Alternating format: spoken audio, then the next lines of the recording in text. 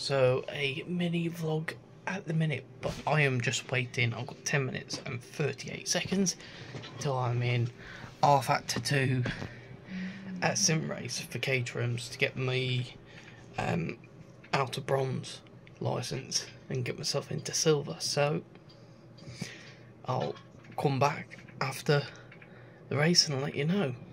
I didn't really score that well. I got 11th and I ended up crashing on the last lap. And I've lost negative three points from my rank, my driver rank. So, not that good. So, oh well. So I'm going on to something now that I'm a bit more familiar with because Caterhams I'm well.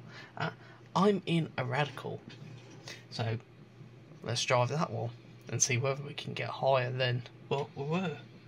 So I'll see you in a second because I need to go and get in practice. So a better experience this time, ninth, and I gained driver rating 0.7 and my safety rating 33.2 so win-win there. So I'm gonna come off sim racing for tonight but I don't know how long this vlog is but we'll see in the editing stage. So at the minute I'm watching Friends so I'm gonna go and watch that for my brother. So I'm still watching Friends but just to show you my desk at the minute I will go in further detail with this.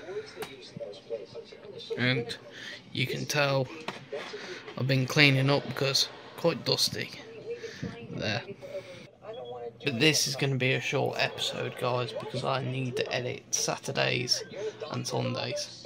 Vlog ready for me relaxing over Christmas. So I will see you in the next video. And peace.